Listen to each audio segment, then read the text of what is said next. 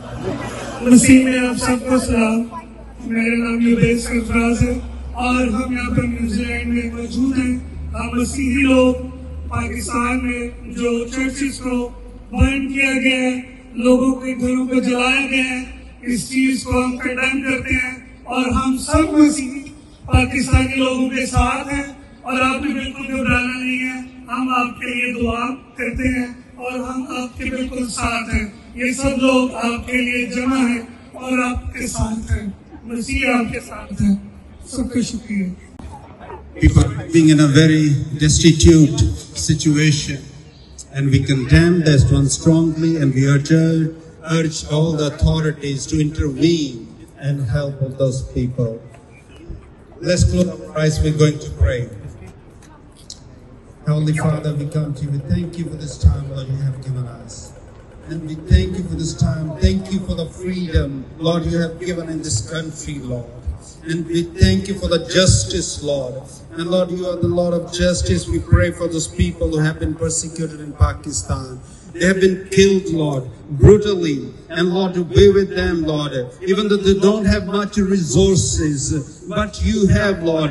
We urge all the authorities and countries to help those people who are in need, Lord. Those people who are going through hardships, Lord, which has been dislocated, Lord, and their house has been burned and destroyed, Lord. And we pray in your name, Jesus, Lord. Lord, you provide the help, Lord, uh, be with all the Pakistani Christians and other minorities who are suffering, Lord. And Lord, every day they are killed, Lord, because of their faith. We condemn strongly, Lord. And Lord, we come all together, Lord, and raise us to people, Lord. We'll uplift to you, Lord Jesus. You be with her, be with them, and be a help of them. In Jesus' name we ask. Amen. Look into the matter. We also pray for all the Pakistani who are in pain. We are, we pray all those Pakistani Christians and other minorities who are right now in the pain. They are going through the hardships and trials and we condemn this type of any incidents and action which has been taken. And this is the time the world has to stand for that one. And we urge the government as well to just um, look into this matter. God bless you all.